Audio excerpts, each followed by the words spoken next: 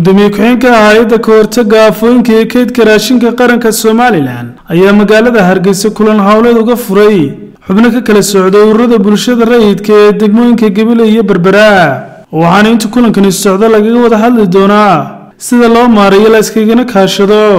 Wax ka qabashada aafooyinka dabiiciga ugu horeyna halkaasi waxaa ka hadlay gudoomiye ku-xigeenka hay'adda kahortaga aafooyinka iyo kaydka raashinka qaranka iyo agaasimaha qorsheynta waxay daaran yihiin seminaarkan iyo kuwo kaloo fara badan oo hore aanu qabanay in bulshada lagu ay noqoto bulsho ku wacyigashan oo ku baraarugsan khatarta iyo dhibaatooyinka ay aafooyinku leeyihiin. Qodobka labaadna waxaa weeye wax ka qabashadeeda sidii yaraynta khataraha sidii wax looga qaban lahaa oo qof waliba doorka uu leeyahay uga qaadan lahaa min madax ilaa shacab ilaa ururo bulsho idinkana maanta waxaan idinka rajaynayaa inaad faham badan halka ka qaadataan oo aad kala tagtaan aqoon. Bal cala alaqala qof waliba aafada waxa ay tahay marka hore. Marka ay dhacdo sida wax looga qaban karo ama loo yarayn karo. Waxaa kow ka adee in wax kuu yaal inaad ka sii diyaargarowdid oo aad wixii wax kaga qaban lahayd aad haysatid. Haddii abaara dhacaan oo aadan kayd lahayn waxaad noqonaysaa inaad dee khatarta intii hore ka badato. Tababarkeennan aad idinkoo faham fiican ka haysata yaraynta khataraha aafooyinka aad halkan kala tagtaan. Markaynu eegno maaraynta aafooyinku waa wax la wada leeyahay.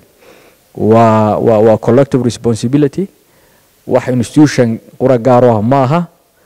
Wax koox gaara gaaro ah ma aha.